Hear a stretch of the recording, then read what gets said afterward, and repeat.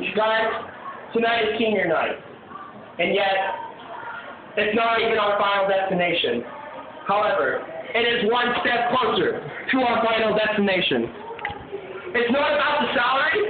It's not about reality. It's not about the glory. But it's about your attitude.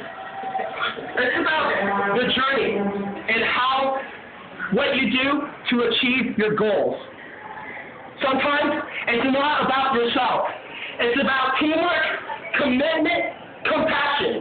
And those are the main ingredients for a championship team, like we are today. Hell yeah! Yeah. You have to forget about the past. Sometimes, whenever you touch the wall, you turn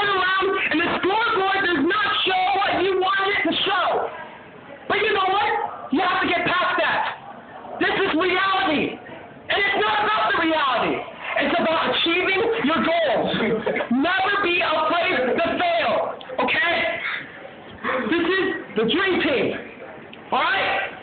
Well, Yeah. you go